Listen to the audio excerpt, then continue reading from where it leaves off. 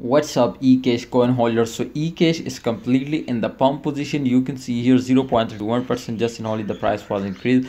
So i want my friends to give you the free signal now. So let's get started. This what is the price target? What is the technical analysis?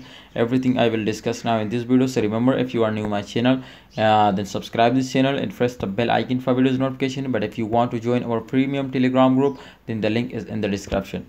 This is congratulations over so they will again hit the resistance line there and absolutely when this was hit the resistance line i decided to make a special video for my viewer my subscriber.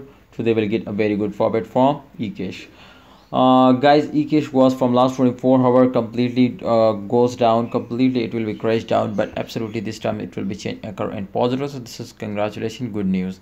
You can see my friend this first day will be completely creating a lower and lower position. You can see lower and lower position but this time they can't break this resistance line and they will uh, do this. You can see here is the key lock so this is confirmed they'll be in pump position. If they break this support line they will very badly crash down.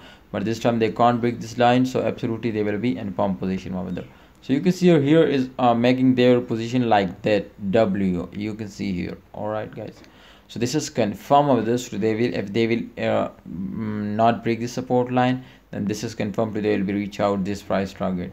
So the first tar of target is 0 0.405500 the second target my brothers if they will hit this support line also then this is confirmed they will be hit out my friend 0 uh, 406 uh, or 7 all right guys.